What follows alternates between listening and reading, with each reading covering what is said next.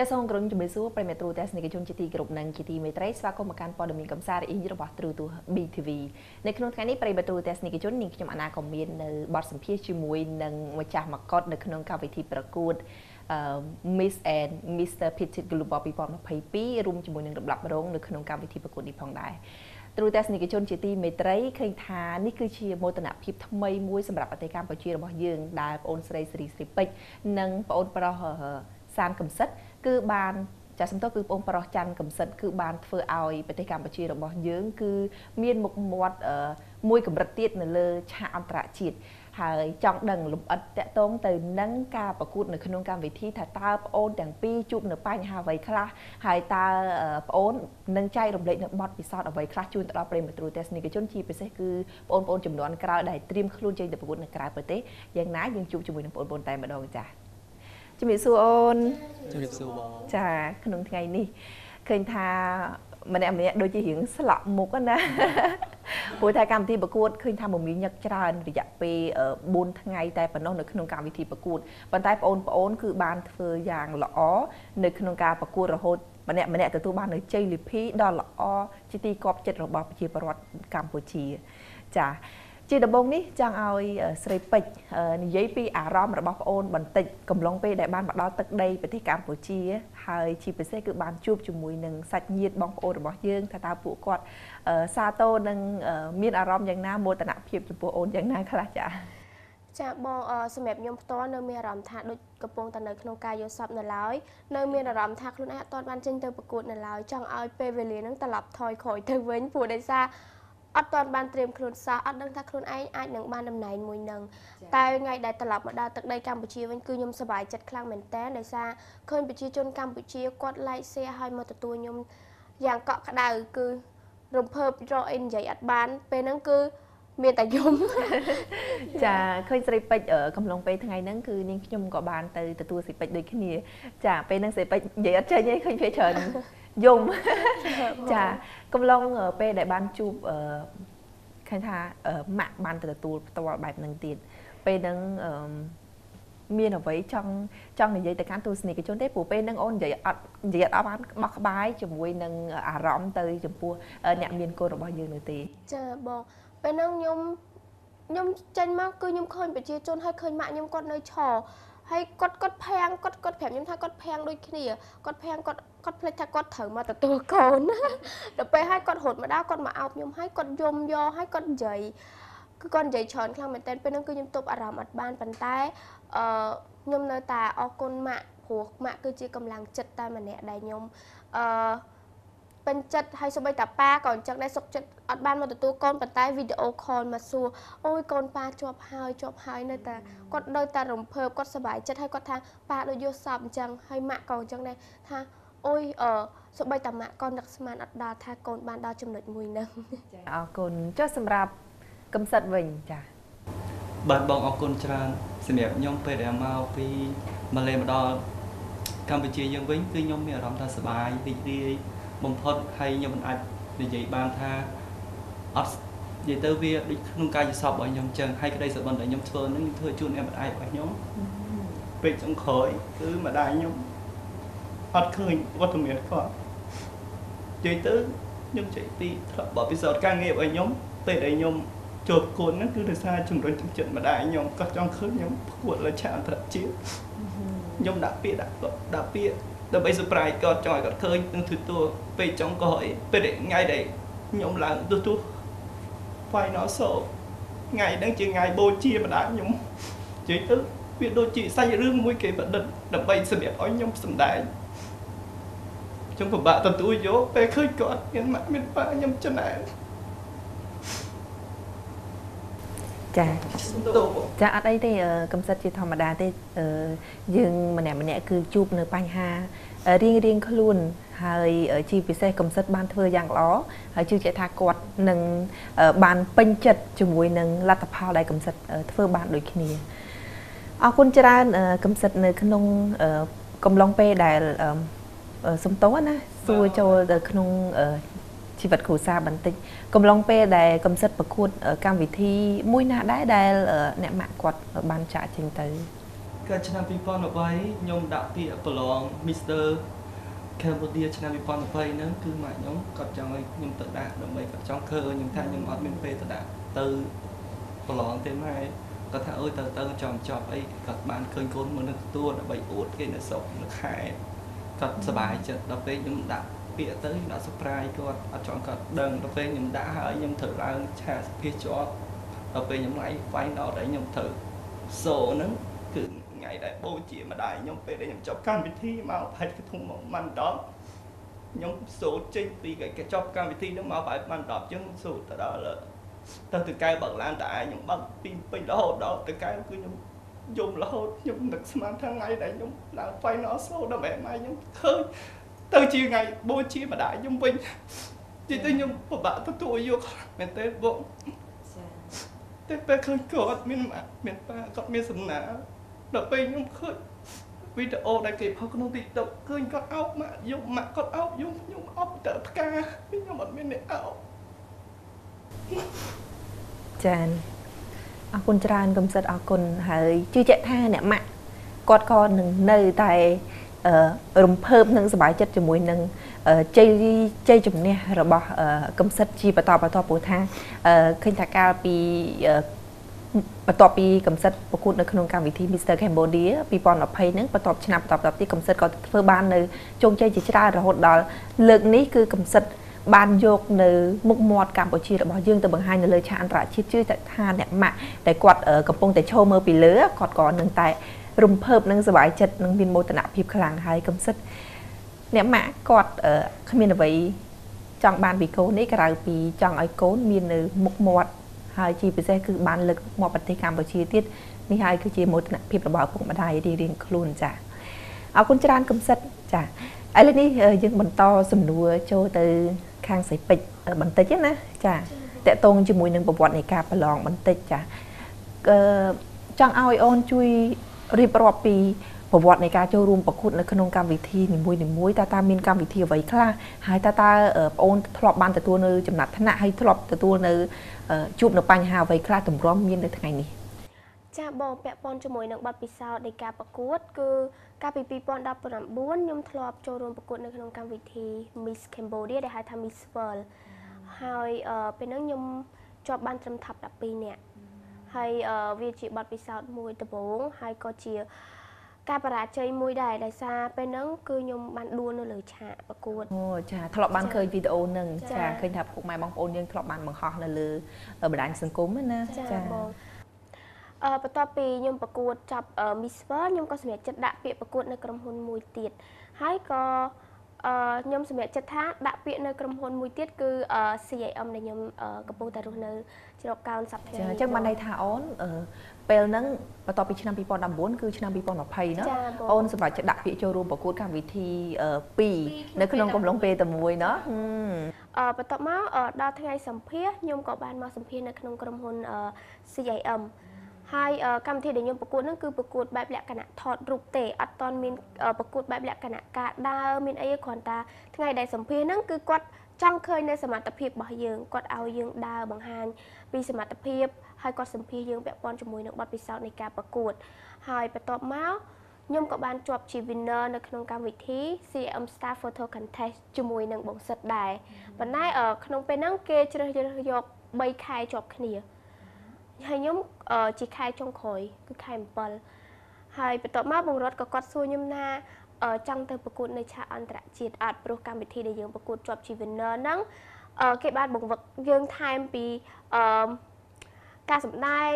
ការដើរហើយនឹងបទពិសោធន៍ផ្សេងផ្សេងទាំង Q&A ទាំងអឺពាក់ព័ន្ធជាមួយនឹង MC ដែរចាបន្ទាប់មកអឺក៏ខ្ញុំសម្រេចចិត្តថា ខ្ញុំចង់ទៅប្រកួតនៅឆាកអន្តរជាតិខ្ញុំអត់តន់សម្រេចចិត្តចង់ប្រកួតក្នុងស្រុកឯងព្រោះខ្ញុំគិតថាខ្ញុំគោលបំណងរបស់ខ្ញុំគឺចង់តំណាងឲ្យប្រទេសកម្ពុជាដើម្បីយកទង់ជាតិកម្ពុជាទៅបង្ហាញនៅលើឆាកអន្តរជាតិហើយបងរតក៏គាត់បានបញ្ជូនខ្ញុំទៅកម្មវិធី Me and Mr Petit Global ហ្នឹងប៉ុន្តែក្នុងកំឡុងពេលហ្នឹងគឺ delay មួយឆ្នាំចាបងដោយសារ Covid ក៏កម្មវិធីត្រូវបាន delay រយៈពេលមួយឆ្នាំបន្ទាប់មកអឺខ្ញុំក៏សម្រេចចិត្តប្រកួតនៅក្នុងស្រុកសិនគឺ ចាបងអឺគឺកម្មវិធី Miss Universe ជាមួយនឹងកញ្ញាងិនម៉ារ៉ាឌីចាហើយបន្ទាប់មកក៏គេគេប្រាប់មកថាខែ11ខ្ញុំត្រូវចេញទៅប្រកួតអញ្ចឹងអឺគ្រាន់តែចាប់កម្មវិធី Miss Universe ភ្លាមខ្ញុំត្រូវត្រៀមខ្លួនដើម្បីទៅប្រកួតកម្មវិធី Miss and Mr Petit Global តែក៏ដល់ពេលហ្នឹង COVID អត់ទាន់បាត់ក៏ត្រូវ delay បន្ត ដល់ខែអឺ8ហ្នឹងបងចាអូបានន័យថាកម្មវិធីនេះគឺអឺយើងបានរៀបចំធ្វើតាំងពីកម្រងធ្វើហ្នឹងគឺតាំងពី2021ប៉ុន្តែដោយសារមានបញ្ហាចឹងយើង delay រហូតដល់ខែ8នេះចាហើយដល់ពេលហ្នឹងអឺ Miss Universe ក៏ announce ម្ដងទៀតនៅក្នុងខែ6ព្រោះកាល2020អឺធ្វើនៅខែ11ស្រាប់តែលើកហ្នឹងបងរត់ក៏ធ្វើរៀងលឿនខ្ញុំក៏ស្វែងថាអូខ្ញុំដាក់ពាក្យប្រកួតក្នុងស្រុកម្ដងទៀតសិននិយាយទៅគឺអត់អត់ ព្រមឈប់អត់ព្រមឈប់ពេលនៅតែបន្តហ្នឹងហើយហើយក៏សម្រាប់ចិត្តថាប្រកួតម្ដងទៀតក៏បាន top 10ម្ដងទៀតហើយអឺខ្ញុំក៏អត់គិតថានឹងបានតំណែងទេដល់ពេលគ្រាន់តែប្រកួតចប់ខ្ញុំដល់ថ្ងៃអឺហោះទៅប្រកួតនៅប្រទេសម៉ាឡេស៊ីចាហើយពេលដែលខ្ញុំទៅគឺខ្ញុំមានអារម្មណ៍ថាដូចជាទៅដើរលេងចាអរគុណច្រើនអឺស្រីពេជ្រឃើញថាជាមួយនឹងប្រវត្តិនៃការ ប្រឡូកនៅក្នុងវិស័យសិល្បៈនេះគឺមានច្រើនគូសពចាហើយទាំងអស់នេះហើយគឺជាការអឺគេហៅថាអឺបទពិសោធន៍ដែរដែលជំរុញឲ្យអូនទទួលបាននៅជ័យលាភីនៅក្នុងកម្មវិធីដ៏ធំមួយចាចាបងចុះសម្រាប់កំសិតវិញថាតើបទពិសោធន៍នៅក្នុងអឺប្រទេសកម្ពុជារបស់យើងបងអូនធ្លាប់បានចូលរួមប្រកួតក្នុងកម្មវិធីអ្វីខ្លះចង់ឲ្យទស្សនិកជនជម្រាបអឺជ្រាបកាន់តែច្បាស់ណាចាបាទបងអរគុណច្រើនអឺការក្នុងឆ្នាំ2020ដូចខ្ញុំនិយាយខាងមុខអញ្ចឹងបងចា៎អឺខ្ញុំបានចូលរួមកម្មវិធីមួយ Vista Cambodia 2020ឆ្នាំ2020បងចាបាទបានពីហើយបានក៏ចូលជាប់នៅក្នុងអឺ Final Show របស់គេដែរអញ្ចឹងណាបងឈានដល់ហើយពេលបាទឈានដល់អឺអឺក្នុងអឺគេ live ផ្ទាល់ដែរតែអញ្ចឹងទៅអឺអំឡុងពេលហ្នឹងគឺខ្ញុំអឺខ្ញុំដាក់ពាក្យហ្នឹងគឺអត់តាមប្រាប់ម៉ាក់ខ្ញុំទេ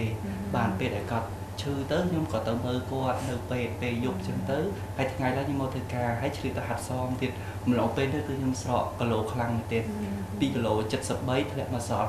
58បាទបងអញ្ចឹងស្គាល់មែនទេគឺម្លងពេលដែលគេប្រកួតហ្នឹងនៅគេរើសដែលអ្នកដែលសាច់ដុំធំចឹងនោះសង្ហាប៉ុន្តែពេលហ្នឹងគឺខ្ញុំស្គាល់មែនទេអត់បានគេគ្រប់គ្រាន់ហើយបាទចិត្តទៀតបងមកឈឺដល់ពេលអឺពេលហ្នឹងគឺខ្ញុំ ពិបាកនិយាយតិចដោយសារតែម៉ាក់ខ្ញុំគាត់គេពេទ្យហើយខ្ញុំ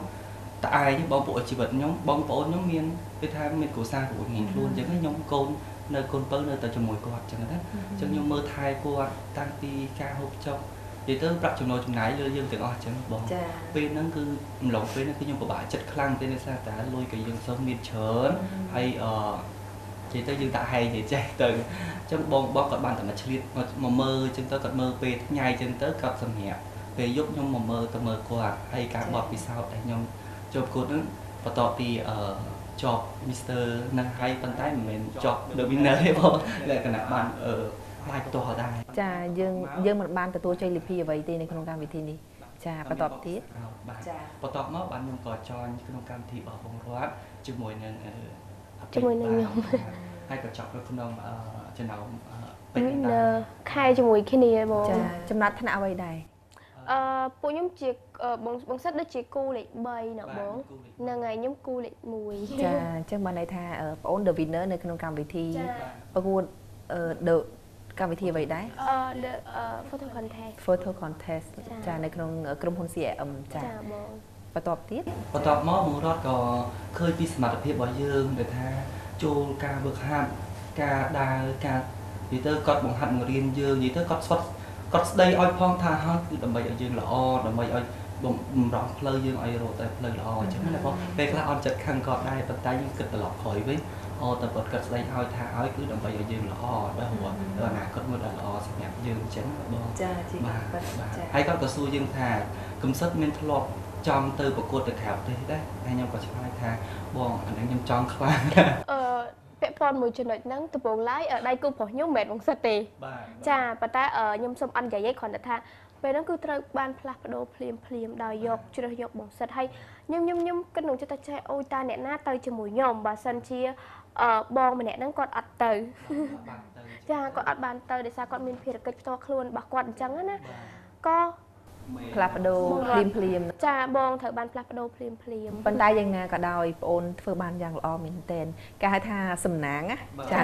ឱកាសអញ្ចឹងនៅពេលដែលយើងបានចាប់យកឱកាសហ្នឹងហើយធ្វើអស់ពីលទ្ធភាពទៀតគឺធ្វើឲ្យបងអូនទាំងពីរនាក់ទទួលបានលទ្ធផលយ៉ាងល្អមកជូនកម្ពុជាយើង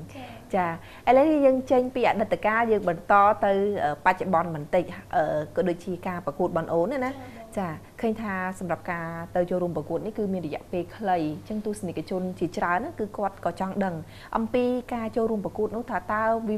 មាននៅបញ្ហាអ្វីខ្លះដែលអូនជួបថាតើហត់នៅយ៉ាងណាខ្លះត្រូវប្រតិបត្តិខ្លួនយ៉ាងណាខ្លះទៅ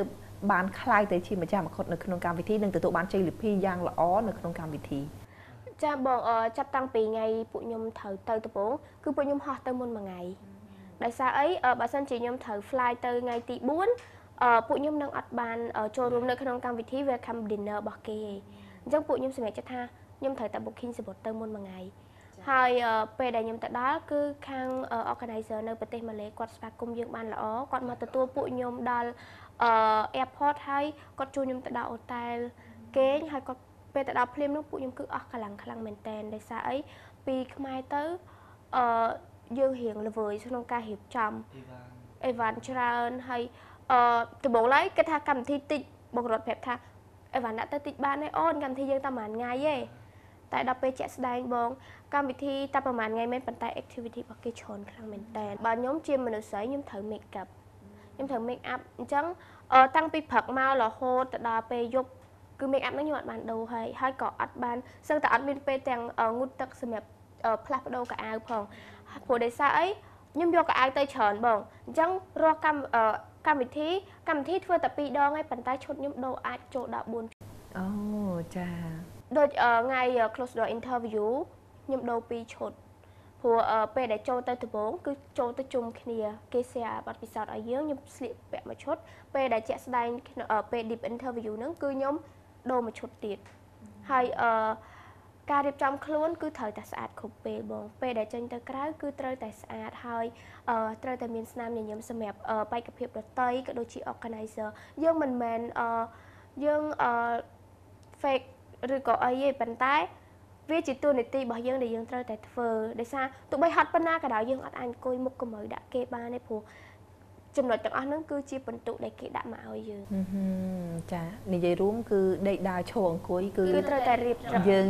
ត្រូវបានទទួលបន្ទុកពីខាងគណៈកម្មការអញ្ចឹងពេលដែលពួកខ្ញុំចេញពីបន្ទប់គឺត្រូវតែស្អាតត្រូវតែញញឹមទោះបីហត់មិនឈឺមិនក៏ត្រូវតាគ្រប់ពេលចេញទៅញញឹមរហូតចាចុះចំពោះកំសិនវិញចាបាទបងអរគុណអឺសម្រាប់ខ្ញុំគឺដូចពេចដូចគ្នានិយាយទៅ ក្នុងមួយថ្ងៃមានកម្មវិធីពីរចឹងទៅចេញពីអឺបង្ហាញថ្ងៃដែលធ្វើមីញូហ្នឹងបង្ហាញទេសនា costume ហើយបន្ទាប់មកខ្ញុំមកវិញជិះឡានមកឆ្ងាយមានកម្មវិធីនេះតែមួយនៅកន្លែងមួយបងមកពីឆ្ងាយកន្លែងផ្សេងទៀតហើយដើម្បីយើងមួយទឹកផ្លាស់អើធ្វើខ្ញុំថ្ងៃដែលពួកខ្ញុំ interview 3កម្មវិធីបងមិនពីរទេអឺដោយសារពេលពីពេលព្រឹកពួកខ្ញុំត្រូវ make up ញ៉ាំអីហើយត្រូវ make up អឺថតជាមួយនឹង evening gown និង official wear បន្ទាប់ពីហ្នឹង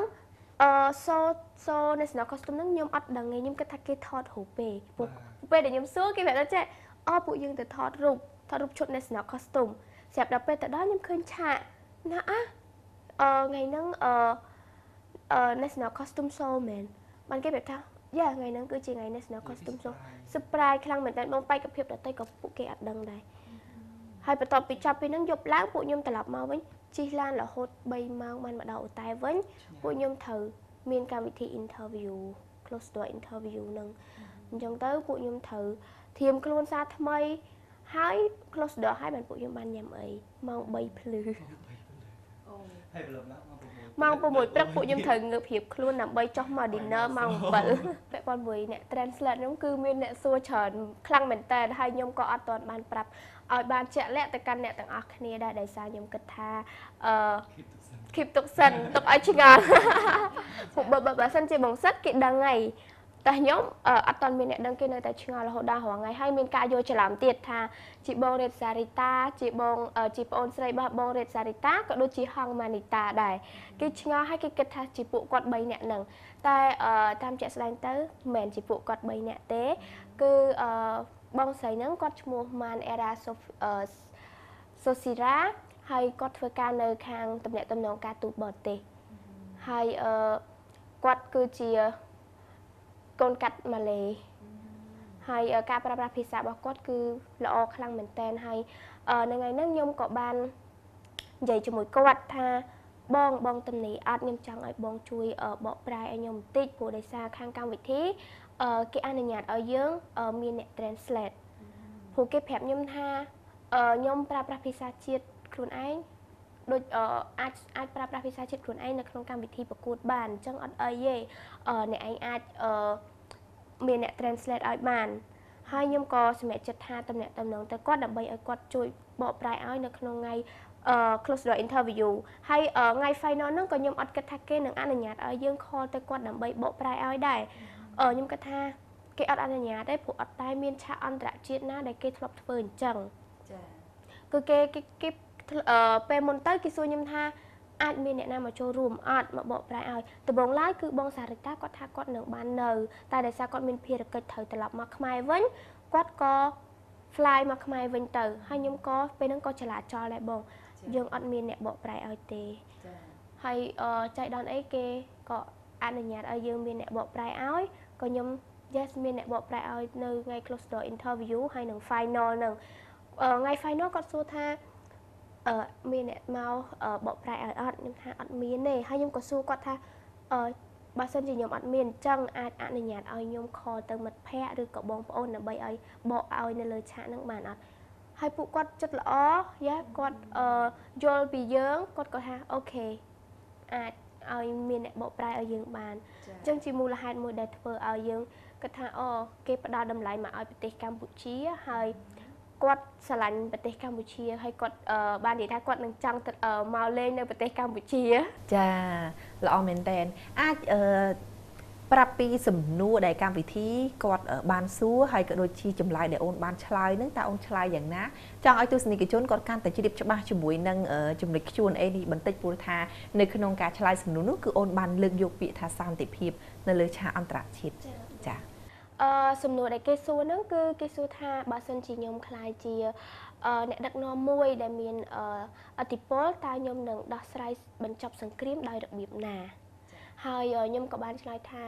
បើសិនជាខ្ញុំខ្លាយជាអ្នកដឹកនាំមួយដែលមានអធិពលខ្ញុំនឹងដោះស្រាយបញ្ឈប់សង្គ្រាមដោយប្រើប្រាស់សន្តិវិធីដើម្បីដោះស្រាយហើយអឺដោះស្រាយដោយអឺប្រើចិត្តនិងបេះដូងហើយដោះស្រាយដោយការប្រើសន្តិភាពការពិភាក្សានិងការឲ្យតម្លៃគ្នាទៅវិញទៅមកដោយប្រើចំណេះដឹងនៅក្នុងការគិតដើម្បីដោះស្រាយជាមួយគ្នាហើយខ្ញុំក៏និយាយថាអរគុណសន្តិភាព ចាល្អមែនតែនចាពាក្យនេះគឺដោយសារតែប្អូន បានរស់នៅក្នុងទឹកដី ដែលមានសន្តិភាពស្រាប់ចាហើយក៏អរគុណដល់សម្ដេចក៏ដូចជារាជរដ្ឋាភិបាលកម្ពុជារបស់យើងដែលគាត់តែងតែធ្វើឲ្យកម្ពុជារបស់យើង ចាធ្វើឲ្យកម្ពុជារបស់យើងគឺមាននៅសុខសន្តិភាពរហូតដល់កម្ពុជាប្រជាពលរដ្ឋខ្មែរគ្រប់រូបគឺអាចប្រើពាក្យបានថាអរគុណសន្តិភាពទៅដល់រាជរដ្ឋាភិបាលនិងនាំទៅផ្សព្វផ្សាយដល់បណ្ដា ប្រទេសនៅលើពិភពលោកតាមតាមជាក់ស្ដែងខ្ញុំក៏អរគុណទៅកាន់សម្ដេចតេជោដែលគាត់បានបញ្ឈប់ការឈូសឆាយភ្នំតាម៉ៅព្រោះថ្ងៃដែលខ្ញុំក្រុងមកកត់ស្អែកឡើងសម្ដេចបានប្រកាសឲ្យបញ្ឈប់ការឈូសឆាយ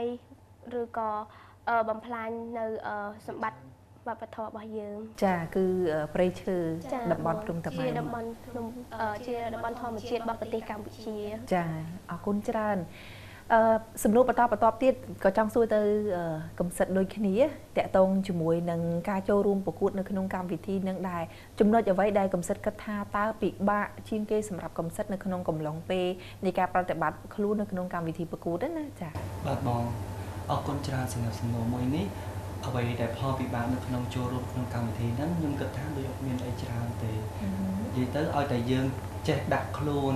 និយាយថាយើងឲ្យតម្លៃនៅប្រជាពលរដ្ឋគេគេនឹងឲ្យតម្លៃនឹងគ្រប់យើងដូចគ្នាបងនិយាយទៅខ្ញុំមិននឹកស្មានថាពេលដែល final គឺខ្ញុំមាន fan មកច្រើនបងសួរស្រីពេជ្រឲ្យក្នុង live ស្រ័យថាអឺចុងក្រោយដែល top 5ដែលអត់តាន់ហៅឈ្មោះអណខ្ញុំចូលទៅ បងខ្ញុំមានអារម្មណ៍ថាខ្ញុំព្រឺសវល់ Cambodia Cambodia Cambodia ខ្ញុំមានអារម្មណ៍ថាបងខ្ញុំរំភើបខ្លាំងហើយបងខ្ញុំរំភើបសន្ស្រក់ទឹកភ្នែកខ្ញុំនឹកស្មានថាអឺអំឡុងពេលហ្នឹងប្រជាជនម៉ាឡេស៊ីគាត់ស្រឡាញ់ពួកខ្ញុំដល់ថ្នាក់ហ្នឹងបងនិយាយទៅគាត់ឲ្យតម្លៃយើងបងមើលឃើញតែសកម្មភាពទុំជាតិយើងនិយាយទាញឲ្យពេកខ្ញុំយកឲ្យពេកឲ្យឲ្យពេកមកពាក្យមកគាត់ឲ្យគាត់រកទុំជាតិមកឲ្យពេកកម្មទៀតនិយាយទៅខ្ញុំឃើញសកម្មភាពបែបហ្នឹងនិយាយទៅគាត់ welcome គាត់គោរពស្រឡាញ់យើងអញ្ចឹងធ្វើឲ្យយើងនឹងអត់មានផលវិបាកទេឲ្យតែយើងនឹងគោរព ពេលវេលានឹងឲ្យតម្លៃគេគេនឹងឲ្យតម្លៃគោរពយើងដូចគ្នាចាគាត់ស្វាគមន៍យ៉ាងកក់ក្ដៅតែម្ដងសូម្បីតែពេលប្រកួតឃើញថានៅក្នុងវីដេអូដែលកំឡុងពេលពួកប្អូនទទួលនៅជ័យលីភីហើយជាពិសេសគឺក្រងមកុដហ្នឹងគឺអូយហូខ្លាំងចាខ្ញុំនឹកស្មានថារវាងប្រទេសគេបើខ្ញុំម៉ាឡេស៊ីម៉ាឡេស៊ីហើយនឹងអូនឯងអញ្ចឹងនិយាយទៅប្រទេសគេហើយនឹងប្រទេសដទៃហេតុអីបានពេលដែលចប់ប្រទេសយើងមិនមែនជាសាច់ដទៃសាច់ខ្លួនគាត់ផង ប៉ុន្តែគាត់ជាស្វាគមន៍គាត់ហូគាត់ផ្ទះដៃគាត់ថាគាត់ពេញចិត្តនឹងអ្វីដែលឲ្យឲ្យមកគាត់នឹងទៅស្រីពេកអញ្ចឹងខ្ញុំមានអារម្មណ៍ថាអឺខ្ញុំឡាយក្នុង page របស់ខ្ញុំខ្ញុំយំបដាពួកគាត់អូយហូសប្បាយខ្លាំងមែនទែនឃើញគាត់ពាក់មកគាត់អញ្ចឹងគាត់ថាមានសមត្ថភាពគ្រប់គ្រាន់ដើម្បីយកមកគាត់មួយហ្នឹងអញ្ចឹងបងចាចាប៉ុន្តែយ៉ាងណាក៏ដោយកំសិតគាត់ធ្វើបានយ៉ាងល្អដូចគ្នា ចាពីព្រោះថាធម្មតាទេការប្រកួតគឺមានឈ្នះមានមានចាញ់ហើយមានខុសគ្នានៅបន្ទុកបន្តិចបន្តួចនេះទេ ចាខណៈពេលដែលកំសិតទទួលបាននៅ first runner up នេះគឺឃើញថាសមត្ថភាពកំសិតក៏មិនធម្មតាដែរនៅក្នុងកំឡុងពេលនៃការបង្ហាញនូវសមត្ថភាពនៅលើឆាកអន្តរជាតិចាគឺប្រហាក់ប្រហែលគ្នាទៅជាមួយអ្នកចំណាត់ថ្នាក់លេខ1ទេសីពេចក៏ដូចគ្នាចាឃើញថាអ្នកដែលជាប់កាន់ដៃជាមួយសីពេចគាត់ជាប្រទេស អឺបុញយម៉ាឡេស៊ីគាត់នៅផ្នែកដែលនៅប៉ែកខាងជាប់នឹងសិង្ហបុរីហើយគាត់ជាអ្នកដែលស្នាក់នៅរួមបន្ទប់ជាមួយខ្ញុំទៀតហើយពួកយើងដូច best friend គ្នាអញ្ចឹងបងហើយអឺសម្រាប់ខ្ញុំវិញខ្ញុំនៅជាមួយនឹង Mr. Malaysia តតែម្ដងអឺ roommate roommate ចូលថប់ទាំងអស់ចាល្អមែនទែនចាហើយសង្ឃឹមថា ជាមួយនឹង JDP ទាំងអស់នេះគឺប្អូននឹងព្យាយាមប្រតិបត្តិខ្លួនឲ្យបានកាន់តែល្អបន្តទៀតទោះបីជានៅក្នុងកងត្រាឬក៏ផុតកងត្រាហើយជាការជូនពរហើយនឹងជាការគេហៅថាលើកទឹកចិត្តដល់ប្អូនណានៅក្នុងការជំរុញ ទឹកចិត្តទៅដល់កូនខ្មែរចំនួនក្រោយជាបន្តបន្តទៀតឲ្យពួកគាត់ខិតខំប្រឹងប្រែងកម្មវិធីអ្វីក៏ដោយឲ្យតែយើងប្រឹងប្រែងធ្វើអស់ពីលទ្ធភាពនិងត្រៀមខ្លួនរួចជាស្រេចនៅក្នុងការចូលរួមប្រកួតយើងនឹងទទួលបាននូវលទ្ធផលដែលល្អចា៎ហើយជាចុងក្រោយនេះមានអ្វីចង់និយាយទៅកាន់ទ្រូទស្សនិកជនទេស្រីពេជ្រក៏ដូចជាកំសិតចា៎ សម្រាប់រូបនាងខ្ញុំសូមអរគុណដល់ពុកម៉ែបងប្អូនក៏ដូចជាបណ្ដា fan ទាំងអស់ដែលតែងតែគាំទ្រហើយបានមកទទួលនៅថ្ងៃដែលខ្ញុំចុះពីពលានយន្តហោះមកវិញចាហើយអឺខ្ញុំសូមលើកទឹកចិត្តដល់អ្នកដែលគាត់ឆ្លាញ់នៅវិស័យបវរកញ្ញាក្តីឬក៏វិស័យសិល្បៈផ្សេងផ្សេងសូមតាំងចិត្តហើយអឺរៀនស្គាល់ពីខ្លួនឯងនិងធ្វើអ្វីដែលជាខ្លួនឯងហើយខិតខំប្រឹងប្រែងពង្រឹងនៅសមត្ថភាពខ្លួនឯងពួកខ្ញុំទៅ2នាក់ប៉ុន្តែ គឺអត់បានជួយគ្នាសោះដោយសារពួកយើងត្រូវតែរឹងមាំរៀងខ្លួនព្រោះសិតតែមានការងាររវល់រៀងខ្លួនសូម្បីតែពួកការស្លៀកឈុតហ្នឹងក៏ត្រូវតែរៀនធ្វើឲ្យបានខ្លួនឯងដែរហើយខ្ញុំជាស្រីខ្ញុំពិបាកក្នុងការដោះក្នុងការស្លៀកអត់ព្រមមនុស្សស្រីមិនសោកពាក់បានដូចស្រួលដូចបងសិតគាត់មនុស្សប្រុសហើយអញ្ចឹងខ្ញុំត្រូវព្យាយាមធ្វើមិនដោះឈុតនឹងបានដោយខ្លួនឯងអញ្ចឹងអឺទោះបីកម្មវិធីហ្នឹងទៅ2នាក់ក៏ដូចទៅម្នាក់ឯងដែរអញ្ចឹងព្យាយាមបើសិនជាមានឱកាសទៅត្រូវរៀន ពង្រឹងខ្លួនឯងឲ្យបានខ្លាំងអឺបើសិនជាយើងអស់លទ្ធភាពហើយចាំយើងរកជំនួយបើសិនជាយើងនៅអាចធ្វើបានដោយខ្លួនឯងយើងត្រូវតែខំប្រឹងដោយខ្លួនឯងព្រោះដោយសារអ្វីដែលយើងទទួលបានមកគឺវាមិនងាយទេហើយអ្វីដែលយើងទទួលបានមកដោយអង្គុយចាំតែពឹងគេក៏វាអត់អត់អត់ល្អដែរអញ្ចឹងអ្វីដែលយើងធ្វើបានចេញពីសមត្ថភាពខ្លួនឯង វាគឺជាមោទនភាពមួយសម្រាប់ខ្លួនឯងសម្រាប់គ្រួសារហើយក៏ដូចសម្រាប់ប្រទេសជាតិយើងដែរចា៎បាទអរគុណចា៎បាទសម្រាប់ខ្ញុំគឺគ្មានតែម្រាមដៃដល់លើដៃសំពេអរគុណពុកម៉ែបងប្អូនសម្រាប់ចូលរួមនៅក្នុងអឺទទួលពួកខ្ញុំដែលចុះមកពីពលានវិញហ្នឹងបងគឺខ្ញុំសប្បាយចិត្តខ្លាំងមែនទែនអរគុណបងប្អូនដែលជួយគ្រប់គ្រងនៅវិស័យសិល្បៈនិងវិស័យផ្សេងផ្សេងពាក់ព័ន្ធជាមួយនឹងខាងប្រចាំប្រទេសដែលទៅហើយមកវិញហើយយើងជួយគ្រប់គ្រងចឹងទៅធ្វើឲ្យពួកខ្ញុំមានកម្លាំងចិត្តធ្វើ ធ្វើវាប៉ុន្តែខ្ញុំធ្វើនេះមិនមែនសម្រាប់ខ្ញុំឯនៅក្រុម CIM ទេគឺធ្វើនេះគឺកម្ពុជាទាំងមូលទាំងអស់ចា ហើយហើយអឺពួកខ្ញុំក៏សូមអរគុណដល់ក្រុមហ៊ុន CIM ដែលបានអឺបណ្ដុះបណ្ដាលពួកខ្ញុំហើយផ្ដល់ឱកាសមួយនេះបើសិនជាអត់មានបង្រួតអត់មានអឺក្រុមការងារនៅក្នុងអឺក្រុមហ៊ុន CIM គឺពួកខ្ញុំក៏អត់មានថ្ងៃនេះដែរបាទចា៎បាទហើយជាចុងក្រោយខ្ញុំក៏លើកដៃសំពះអរគុណ Malaysia thank you so much for support Cambodia I love your country ចា៎អរគុណច្រើនបងអរគុណច្រើនអរគុណសម្រាប់ការចូលរួមនៅក្នុងថ្ងៃនេះ ប្រិមត្តទ្រទស្សនិកជនជាទីគោរពនិងជាទីមេត្រីពីកម្មវិធីរបស់យើងបានឈានមកដល់ទីបញ្ចប់ផងដែរមានអ្វីក៏ដូចជាការងារសង្គមនិងការអាប់ដេតជាបន្តបន្តទៀតនោះពីកម្មវិធីរបស់យើងក៏នឹងអឺធ្វើការអាប់ដេតជូនទៅដល់ទ្រទស្សនិកជនតាក់ទងជាមួយនឹងសកម្មភាពរបស់ប្អូនទាំងពីរផងដែរចា៎គណៈពេលនេះអឺកម្មវិធីរបស់យើងបានឈានមកដល់ទីបញ្ចប់ហើយយើងទាំងពីរទាំង3នាក់ក៏សូមអរគុណនិងសូមគោរពលា